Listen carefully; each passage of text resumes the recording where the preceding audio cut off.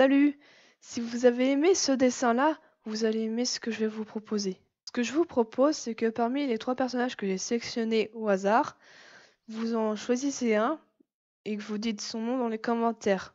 Celui qui aura le plus de votes sera celui que je dessinerai dans le prochain Speed Sketch. Et je dis bien Speed Sketch, pas euh, Speed Draw. Hein.